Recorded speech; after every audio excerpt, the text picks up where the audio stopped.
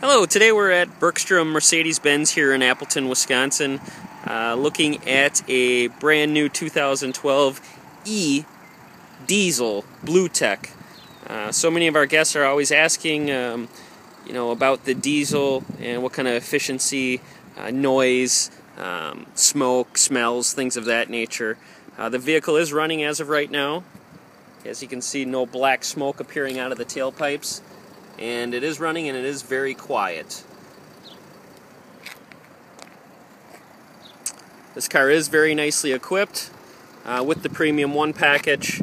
This one has an MSRP of 57,195. Moving into the car, once we shut the door, as you can tell, you cannot hear any diesel sound. Even when we do rev it up, it is very slight. So again, the diesel is a great option for many people.